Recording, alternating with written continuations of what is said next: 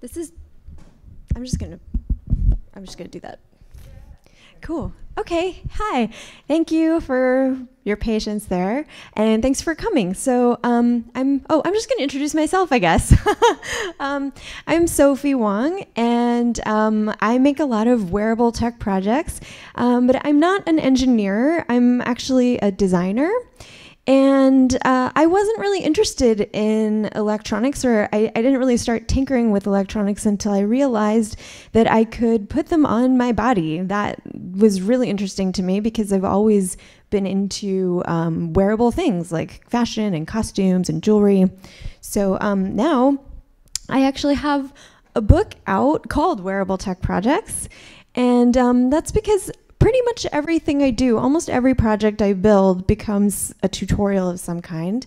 And uh, often they are published in Hackspace Magazine, which is a UK based magazine. I do one for them um, every month.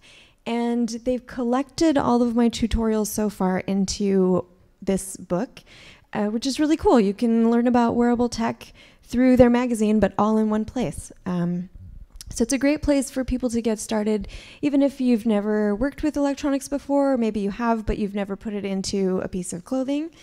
So here's some of the things that I make. Um, this is a, a cool like light up jacket that I, I was wearing it yesterday. It's um, it's got some NeoPixels in it. It's got a microcontroller in it with some different light animation modes, and the diffusers on the back are 3D printed on fabric. This is a sound sample glove that meows. Uh, so every finger plays a different meow sound, and actually, it's it's not actually a cat meowing. It's literally me saying meow. So uh, here's what that sounds like. Ooh.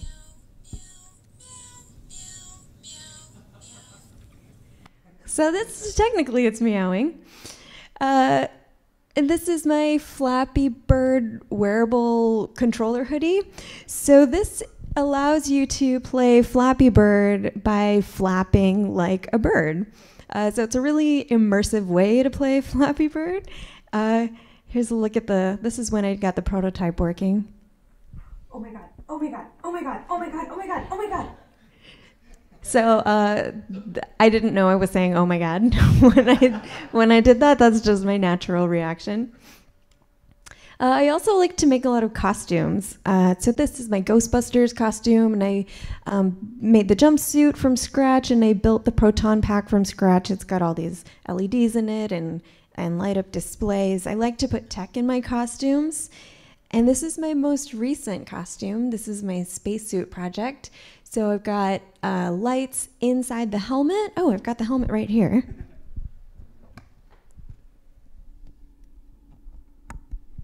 So I put lights inside the helmet, and um, I've also got some lights on the front of the chest piece, and there's a fan on my belt that blows air through this helmet while I'm wearing it, so I can wear it all day long um, and stay really cool and comfortable.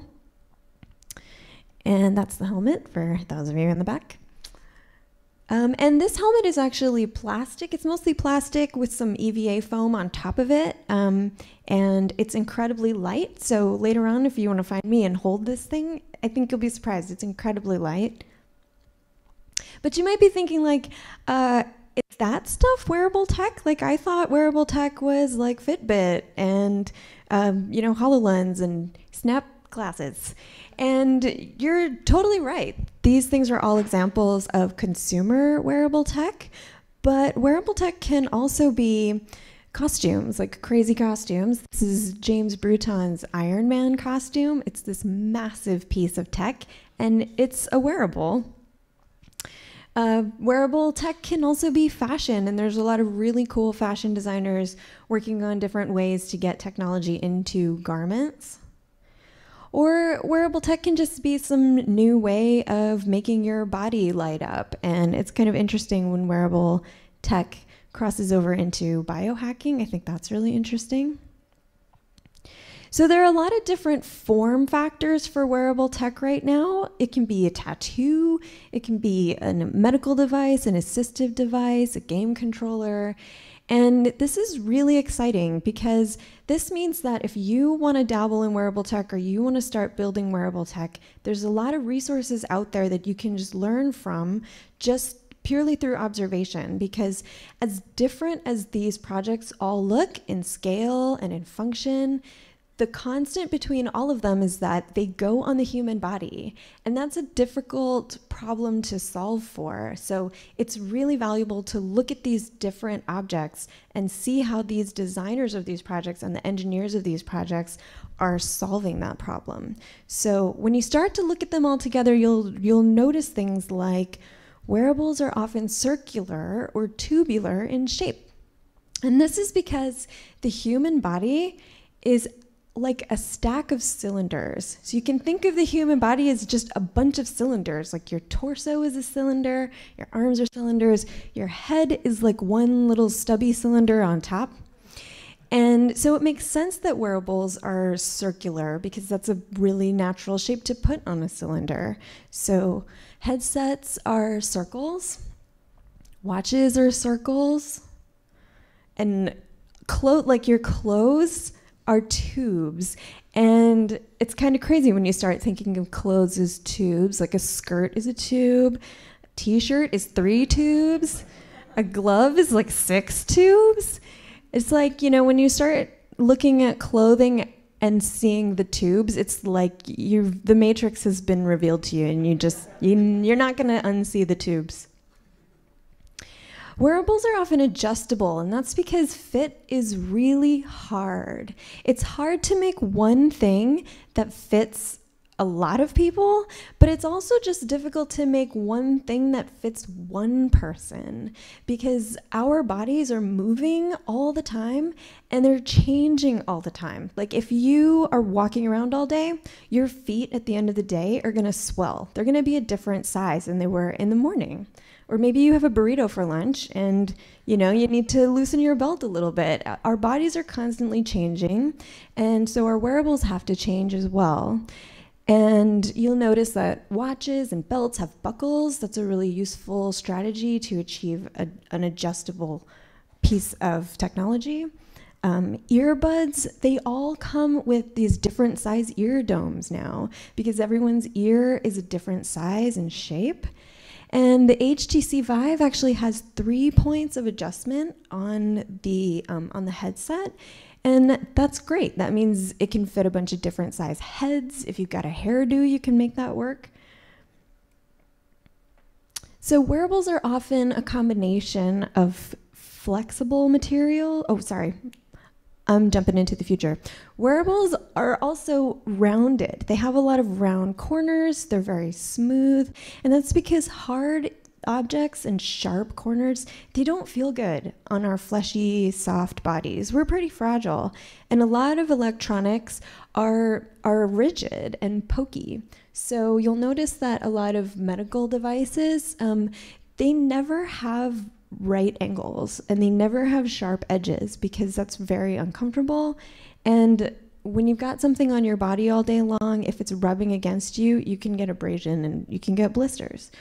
Um, you also notice this in electronic components that are designed for wearable applications. So there's a LilyPad Arduino there, there's a Flora, there's a Gemma. Um, these are all boards that are designed to be used in wearables, and they're circular, they're round. If they're rectangular, their corners are rounded off. And they have surface mount components. They don't have pokey things on the bottom. So all the, the, the bottom surfaces of these boards are perfectly flat.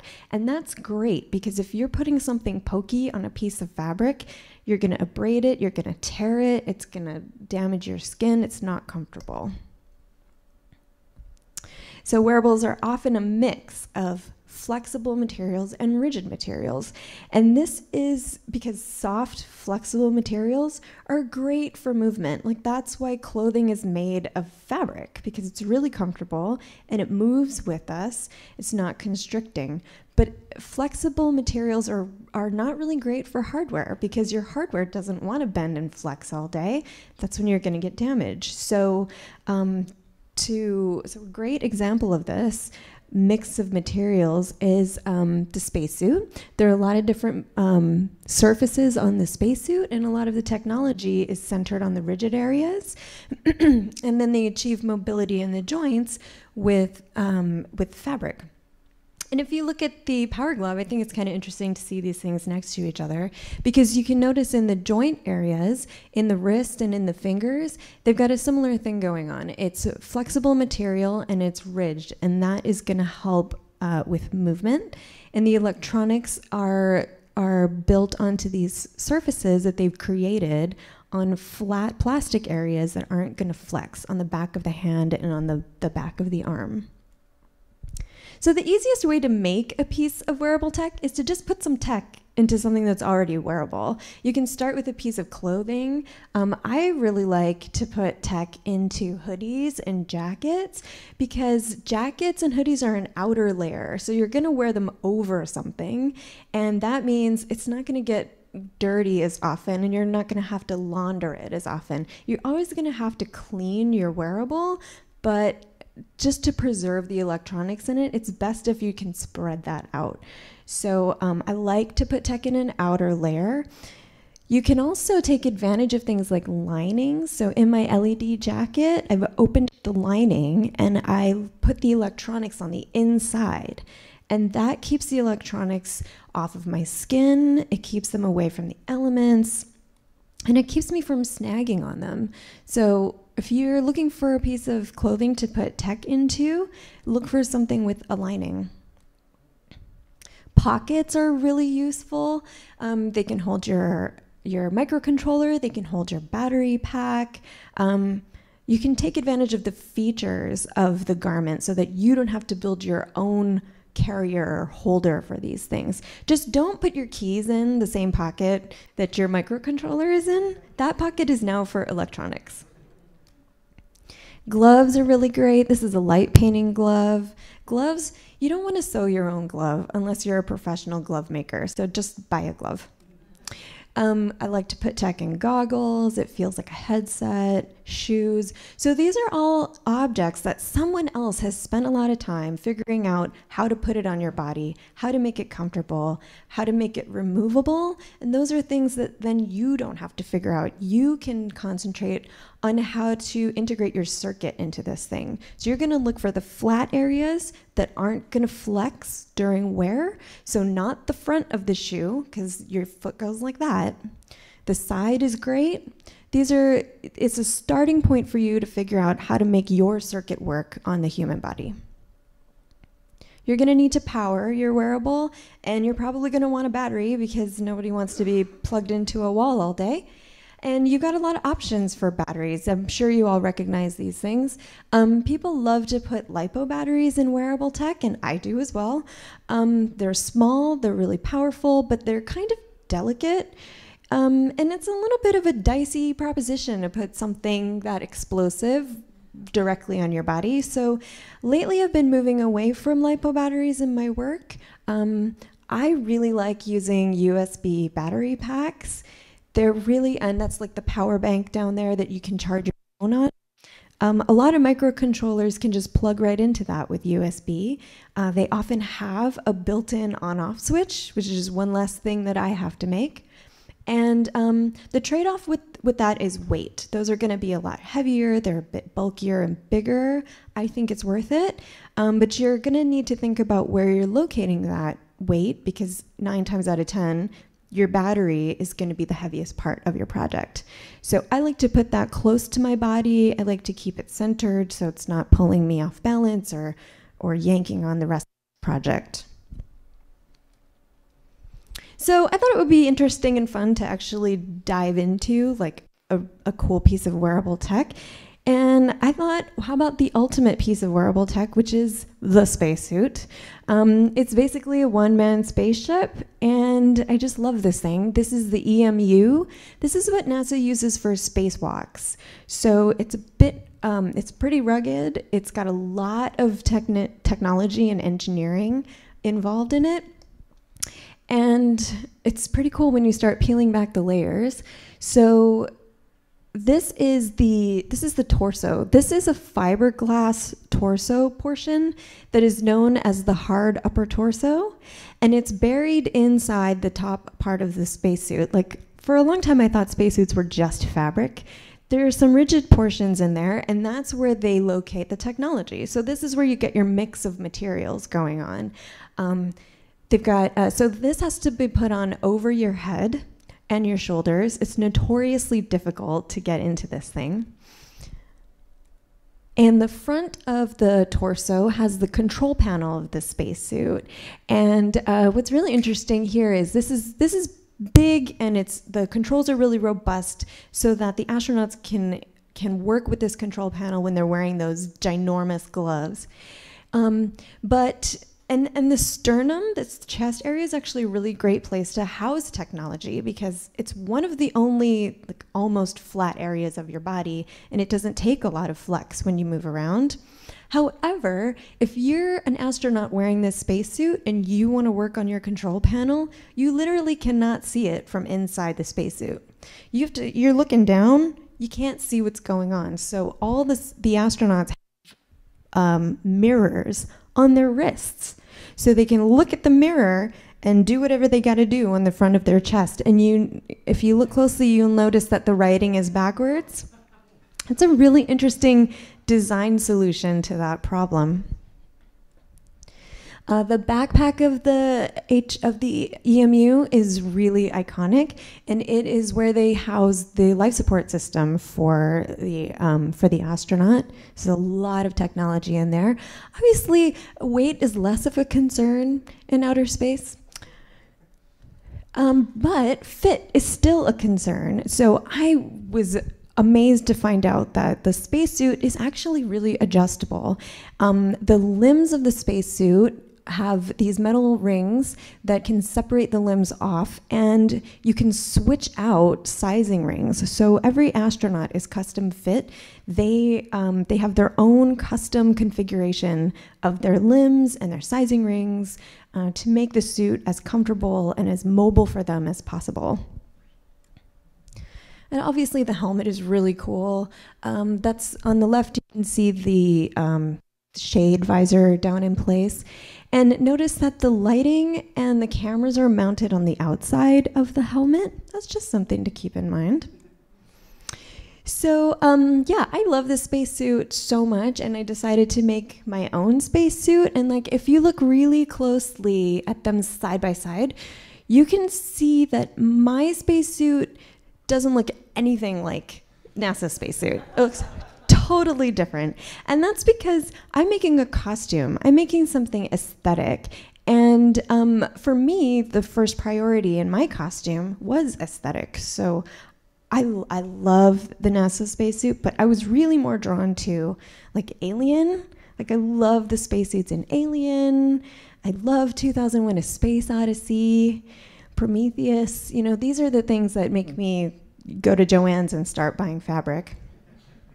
The Expanse. So this is where all my inspiration came from for the aesthetic of the piece. But I still wanted it to function for me. Um, I didn't need to keep myself alive in space, but I needed to keep myself alive at Comic Con. So my second priority was comfort. And I did not build my hard upper torso out of fiberglass. I built it out of EVA foam. And it's re really comfortable, it's flexible. I used a laser cutter to get some really detailed um, surface decoration and um, to achieve a good um, pattern. But you can see there's still some similarities. So the armholes are really large. And that's about the size armhole you need for a semi rigid garment to still be comfortable and let you move your arms around. Um, I used a similar location for, for the tech that I wanted to put on my spacesuit. Um, but because my spacesuit is aesthetic, I could make some decisions to make it more functional for me. So I mentioned earlier that the fiberglass um, torso for the spacesuit is one solid piece. I broke my torso into two pieces. So it comes apart at the shoulders and at the side waist. So it's really easy for me to put it on and take it off. And I can pack it because I can, I can take those pieces apart completely and nest them in one another. I also raised the bottom edge of the torso way up high off my waist. So my spacesuit comes up to like here and it only comes down to about there. And that gives me a lot of mobility in my upper body that you will not have in something that goes all the way down to your waist. Also gives you more surface area to mount your electronics. Um, so my electronics are in the control panel in the front. It's a control panel. It's actually just LEDs in there. Um, I also cannot see this when I'm wearing it, so it comes off completely. It's just held on with magnets. I just pull it off, switch it on, and stick it back on. I have a fan in my belt, so similar to the spacesuit, my life support system is on my back, and it's just a tiny little computer fan that routes air up through this silicone hose into my helmet, and that keeps my visor from fogging up and gives me a little bit of cool air. And when the helmet is mated to the, the backpack of my suit, you can't see that hose at all. It's just hidden in there doing its job. I've also got a battery pack on my waist. So I mentioned I love those USB battery packs. I've got three little lipstick size battery packs on my belt. And I just, I kind of turn them into like an aesthetic prop. They just look like miscellaneous like space equipment. Um, but they're actually really useful. Like I was charging my phone, I was powering my my fan. I gave one to someone else whose battery had died at the con. Like I feel like there's a product here I could I could design just a waist mounted USB battery pack. So I've also got some pleated joints in my spacesuit, and that's you know an aesthetic nod to what's going on in the the actual spacesuit. But um, in the actual spacesuit, you'll notice the pleating at the joints. It's actually there to make it possible for the astronauts to bend their arms and use their joints when the suit is pressurized. Now my suit is not pressurized, but um, the pleats kind of puff out when I do bend my arms and they kind of give this illusion of pressure in my suit. And of course, the whole reason I made this spacesuit was just so I could make a helmet with lights in it, I'll just be honest. And um, it's still my favorite thing about this spacesuit because honestly, like lights in helmets are, they look so badass. They are not functional at all. You don't really want to put lights on the inside of your helmet, of any helmet, because you can't see out, especially in dark environments like space. Like you can't see out because it creates a glare on your visor. But dang, it looks cool. So so that's what I did and that's what I wanted and I what I really wanted was this cinematic moment. Like I wanted to feel like I was in Alien, so or 2001. So uh, here's me living that dream.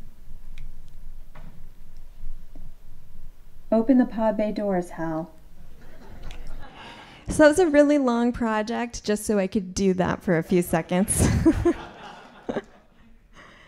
um, so yeah, if you want to know more about this project, I've got um, an article in the current issue of Make magazine that's all about um, how I laser cut this the EVA foam for this project. Um, and I've got an article in Hackspace magazine about how I put the lights in it, and they're audio reactive, as you saw. Um, and if you're interested in my book, you can you can definitely go buy it, but you don't have to. You can actually download the whole thing for free. So um, that's a long URL that you can type in to get to that. And yeah, um, I would love to see your projects if you're working on something wearable or something space related or just anything that you think is cool. So come and find me on Twitter. I'm Sophy Wong. And on Instagram and YouTube, I'm Sophy Wong Makes. Thank you.